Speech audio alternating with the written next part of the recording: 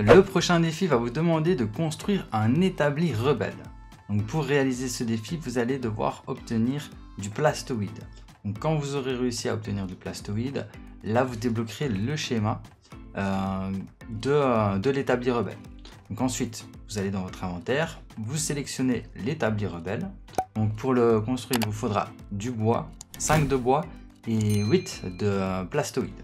Donc quand vous avez vos ressources, là vous placez votre camp rebelle quelque part, moi je vais le placer là, en plein milieu, on s'en fout.